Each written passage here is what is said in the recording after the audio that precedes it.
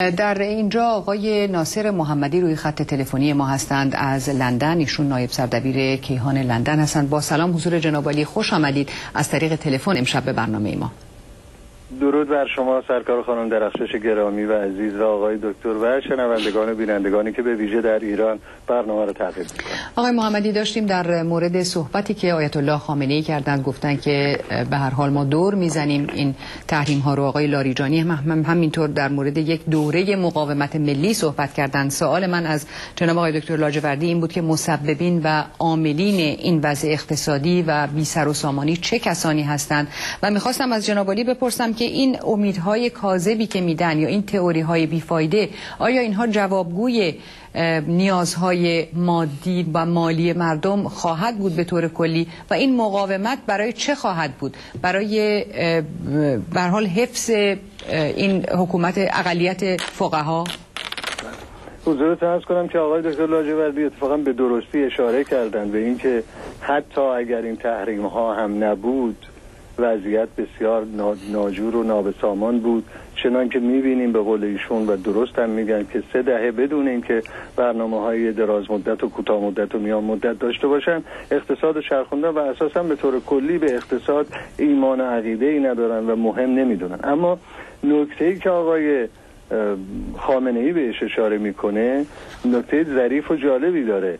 که دشمنان نظام جمهوری اسلامی تلاش می‌کنن که مردم رو به سطوح بیارن و مردم تصور بکنن که اینها ناشی از عملکرد دولته بله. و باید پرسید که اگر از عملکرد دولت نیست که حتی بدون تحریم هم اقتصاد زمین خورده ای داره خب از عملکرد کیست الان تازه به اعتقاد من اگر خاطرتون باشه دو هفته پیش بحث کره جنوبی بود. بنده عرض کردم که کره جنوبی هم بدون تردید موافقت خواهد کرد.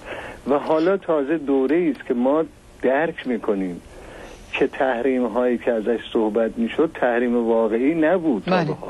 یعنی در این چند ساله گذشته یا به اعتبار سخن برخی از طرفداران جمهوری اسلامی که می‌گویند ما سی سال زیر تحریم بودیم در واقع تحریم نبوده. الان که میاد این تحریم ها رو میشه تازه می‌فهمیم که در اون سقطنامه قبلی در واقع به اجرا گذاشته نشده. اما سخنی که حضرت علی میفرمایید مسئله این استش که تمام حوادثی که اتفاق میفته تمام اقداماتی که دارن می‌کنن. حالا این اقتصاد به اصطلاح ریاضتی رو آقای خامنه ای اشاره کردن بهش. مردمی که به قول دکتر لاجوردی ریاضت دارن می‌کشن نمی‌تونن گوش بخورن نمی‌تونن مواد غذایی برای خانوادهشون فراهم بکنن ریاضت رو دارن می‌کشن. اما اقتصاد ریاضتی بیشتر یا هر کار دیگری که می‌کنن نه فقط در عرصه اقتصادی بلکه در عرصه های سیاسی و غیره همش برای همونه که این قدرت در دست چند فقیه و در رأس اونها آقای خامنه ای باقی بماند. ولی همونجوری که باز اشاره کردن و به درستی هم باز اشاره کردن این هستش که آقای خامنه ای هم راه پس و پیش در واقع الان نداره. رژیم در واقع در یک وضعیتی قرار گرفته. اگر بخواهد از مسئله اتمی عقب نشینی بکند تمام این سوال ها ده برابر خواهد شد که اگر شما بله. می‌خواستید عقب نشینی بکنید خب حالا چرا ما رو به این وضعیت داد اگر هم بخواد ادامه بده در واقع با جامعه جهانی رو بروز و به نظر من به زانو در خواهد آمد. بله یعنی در واقع این مقاومتی است برای حمایت از نظام.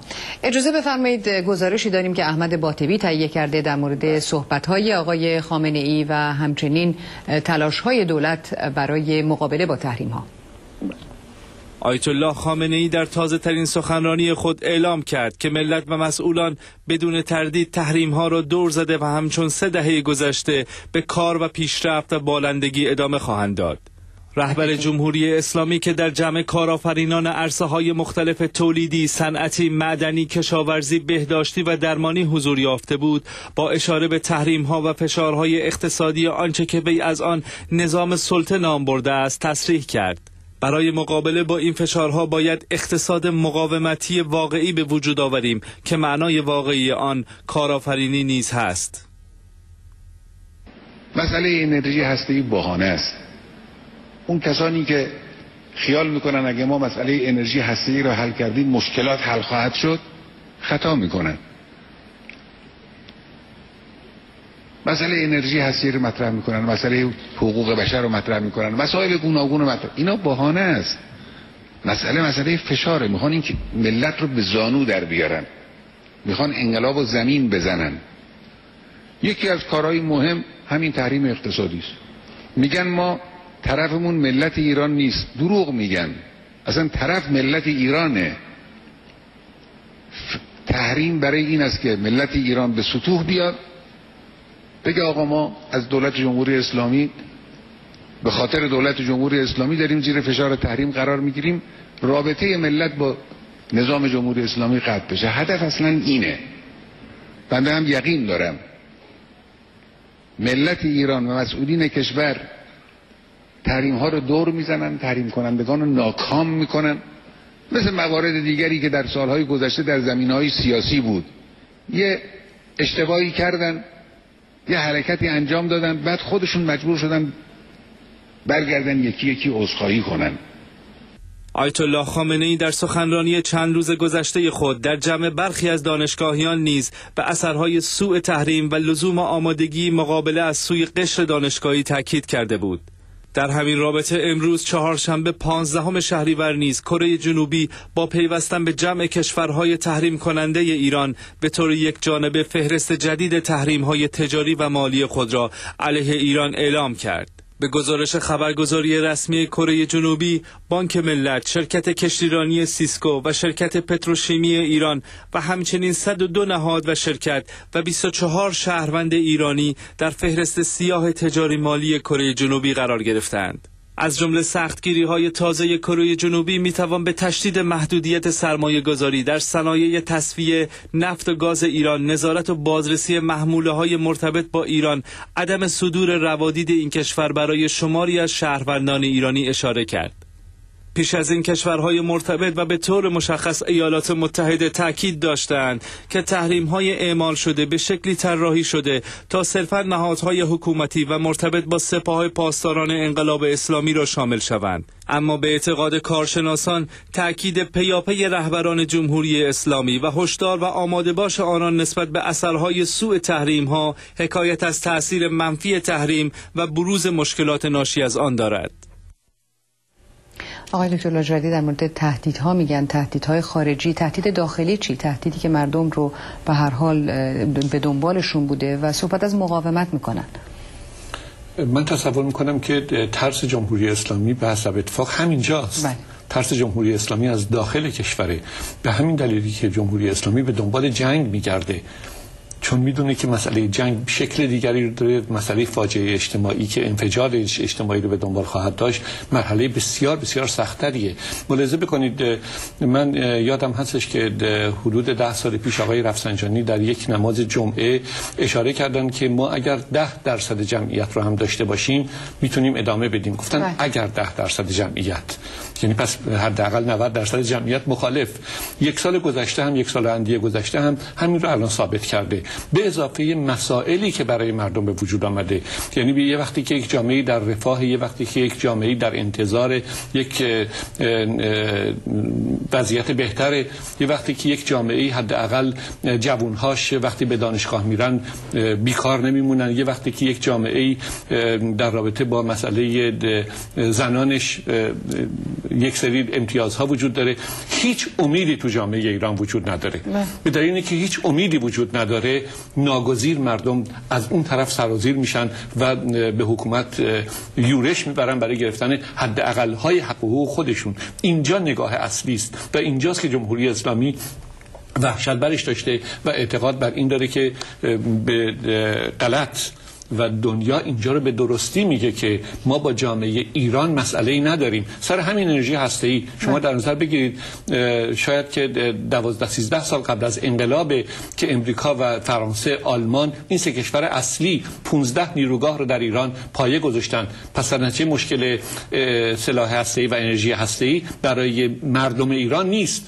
من به عنوان یک ایرونی وقتی که فکر می‌کنم که در منطقه قرار گرفتم در این موقعیت بالای اجتماعی و استراتژیک توی جامعه زندگی می‌کنم. وقتی می‌بینم شمالم شرقم غربم صاحب انرژی هسته هستن من هم می‌تونم داشته باشم می‌تونم از این راه به پیشرفت جامعه هم کمک بکنم. ولی واقعیت امر اینه که همینجا که من قرار گرفتم اگر بهم به بگن که جمهوری اسلامی می‌تونه این رو داشته باشه به دلیل اینکه کلید استفاده از این در اختیار یک سری تروریست پروره بله، چنین چیزی. رو به هیچ وجه نبوجه قبول نمی‌کنم. خب کشورهای خارجی هم همین رو میگن. همین رو که میگن. این بحث اصلی.